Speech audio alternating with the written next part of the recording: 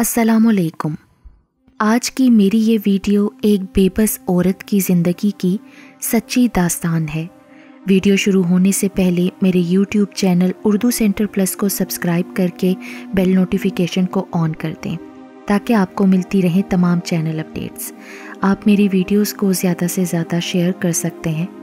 अब आप मुझे ट्विटर फेसबुक और इंस्टाग्राम पे भी फॉलो कर सकते हैं। हम कैसे माशरे में जीते हैं?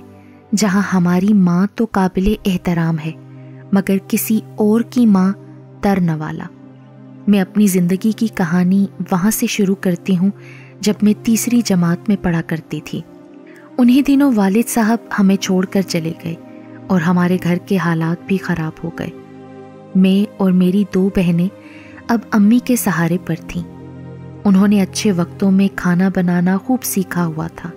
तो बस उन्हीं की इस सलाहियत ने हमारे घर के निज़ाम को भी चलाने में मदद दी थी कि वो मुख्तलिफ़ दफातर में खाना सप्लाई किया करती थी। उन दिनों मेरी खाला यूके जा रही थी, लेकिन उनकी नौजायदा बच्ची का साथ जाना मुमकिन नहीं हो पा रहा था। उन्होंने उसको मेरी वालिदा के सपुर्द कर दिया और मेरी वालिदा उसकी देखभाल में मसरूफ़ हो गई, जबकि हमें उनके प्यार और तवज्जा की ज़रूरत थी, बिलखसूस मुझे। मुझे ये बात अंदर ही अंदर दुखी करती थी कि माँ किसी और की नौजायदा औलाद को इस कदर प्यार क्यों करती है? उस बच्ची का ख्याल अपनी सगी औलाद से भी ज़्यादा रखती हैं। मैं अपने एहसास और जज्बात को दूसरों पर ज़ाहिर नहीं करना जानती थी। या इतनी हिम्मत ना थी कि मैं ऐसा कर पाती। या मैं बहुत छोटी थी।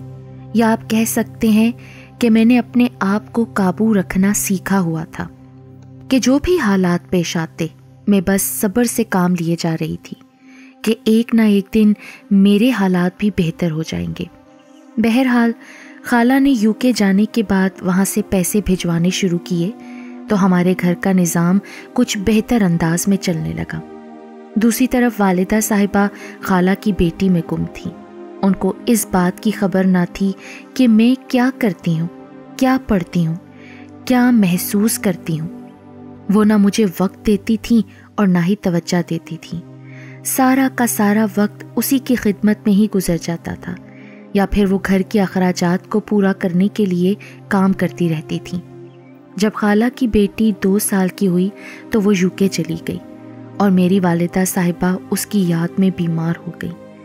एक बार फिर मैं उनकी तवज्जा से महरूम हो गई। आखिरकार अच्छा वक्त भी आया जब मैं पांचवी जमात में गई। लेकिन ये दौरानिया चंद अयाम का ही था। फिर एक तूफ़ान मेरी ज़िंदगी में आया, जब मेरे बहनोई हमारे घर रहने को आए। उनके आने की देर थी कि मेरी रोज़ शामत और पिटाई। कभी कभार उनकी वजह से होने लगी कि वो बात पे बात अम्मी से मेरी शिकायत किया करते थे। वो एक ऐसे शख्स हैं जिनसे मुझे आज भी शदीद नफ़रत है। वो मुझे बार बार छूने की कोशिश करते थे। और मैं जितना दूर जाती थी, वो उतना मेरे लिए मसाइल खड़े कर रहे थे। मगर मैं वो मछली थी जो हाथों से बार बार फिसल रही थी। बहरहाल, वक्त गुजरता गया और मैं छठी जमात में चली गई और मैं आए दिन की परेशानियों की वजह से फॉलेज का शिकार हो गई। मगर फिर भी कोई इसकी वजह न जान पाया। बहरहाल, मैं एक साल के अंदर अंदर ठीक ठाक हो गई और सातवीं जमात में आई तो मुझमें बहुत हिम्मत और हौसला आ गया था। इसके साथ साथ मैंने अपने आप को खुद किसी हद तक समझ लिया कि मैं आखिर क्या हूँ। सातवीं जमात में आकर मैंने 500 तलबा को दर्स देना शुरू किया तो मेरे अंदर खुद एतमादी और हिम्मत ज़्यादा पैदा होना शुरू हुई और मैंने हालात से किसी तौर मुकाबला करना शुरू कर दिया। मेरे बहनोई भी अब मुझसे दूर दूर रहने लगे थे। वो जान गए थे कि मैं अब खूब खुद एतमादी की दौलत से माला माल हूँ। तो इसी वजह से वो कुछ खाइफ से रहने लगे थे। सब लोग मेरी तारीफ़ करते कि तुम्हारे अंदर सलाहितें हैं और तुम ये काम बेहतर तौर पर सरंजाम दे सकती हो। तो मैं वो उनको करके दिखाती थी। यहाँ अफसोसनाक बात ये थी कि मेरी ज़ात से किसी को दिलचस्पी ना थी। कोई मुझे समझने वाला न था। मेरे घर में मेरी वालिदा और बहनें भी मुझे समझने से कासिर थीं कि मेरी ज़िंदगी पर हालात क्या असरात मुरतब कर रहे हैं। मैंने सब्र किया और अपने अच्छे वक्त का इंतज़ार किया।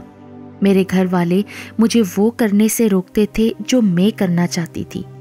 मेरी कज़न्स बहनें सब मुझसे ना जाने क्यों जलते थे? शायद इसकी वजह ये थी कि मैं सब काम काज अच्छा कर लेती थी।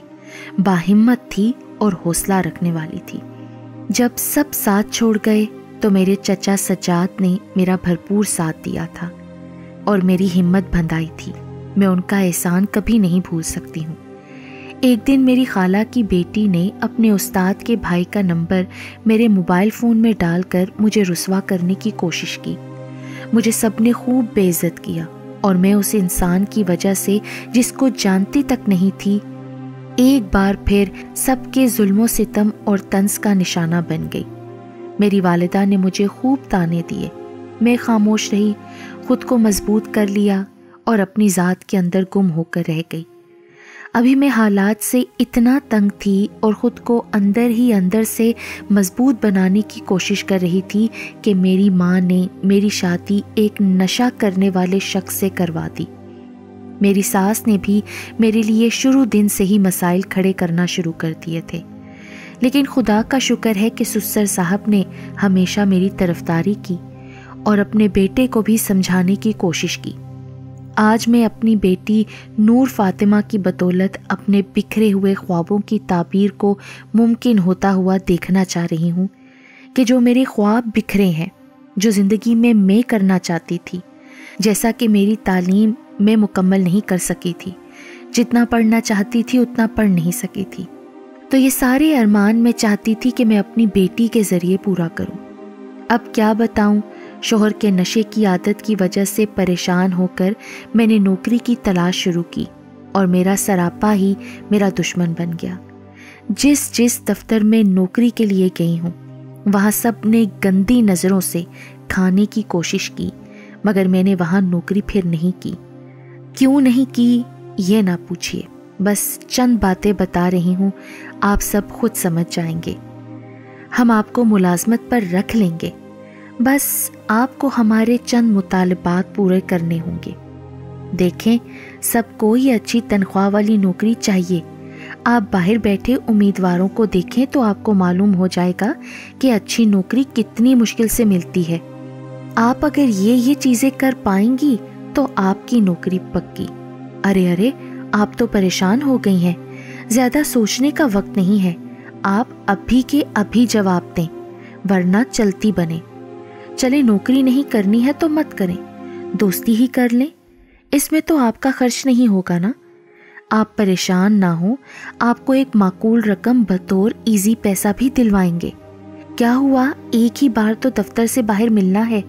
कुछ ऐसा वैसा नहीं होगा। देखो, बात नहीं मानोगी ना तो नौकरी भी जा सकती है। मैंने सबके मुँह पर नौकरी की ऑफरें मार दी थी।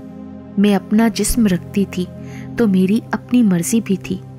मैं हालात से तंग तो आ गई थी, मगर इतनी बेबस नहीं थी कि अपना आप ना मनवा सकती। मैं एक नशेई शोहर से तंग आकर, अपने आप को बुरे आदमियों में फंसाकर गुनेगार नहीं कर सकती थी।